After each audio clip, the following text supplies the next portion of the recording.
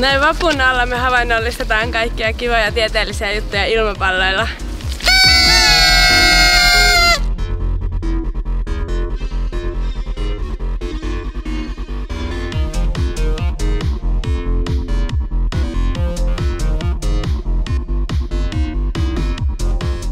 Nyt testataan, miten ilmapallot liikkuvat bussissa.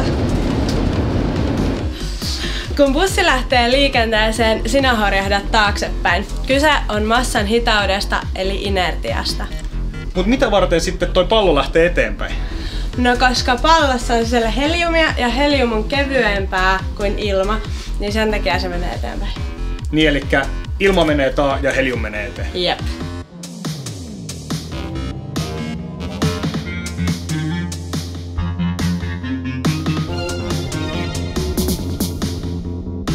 Sama toimii myös jarruttaessa. Sinä menet eteenpäin ja pallo menee taaksepäin.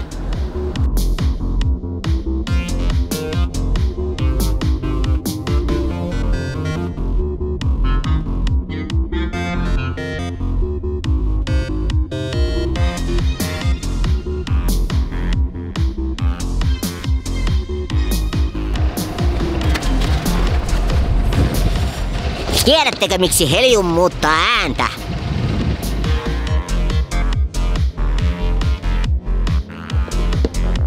Niin, nyt tää on ääni täällä.